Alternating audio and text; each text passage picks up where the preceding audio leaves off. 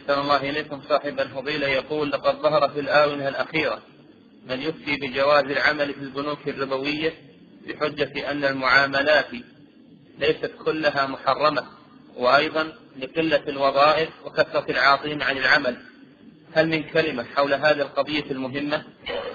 لكن الرسول صلى الله عليه وسلم يقول في الحديث الصحيح لعن الله آكل الربا وموكله وشاهديه وكاتبه فإذا عمل في البنوك فقد أعانهم على أكل الربا إما بالكتابة أو بالحراسة أو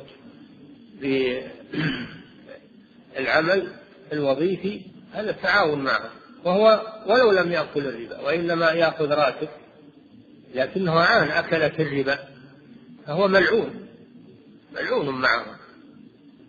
أما من يفتي بهذا يقول هذا غلط.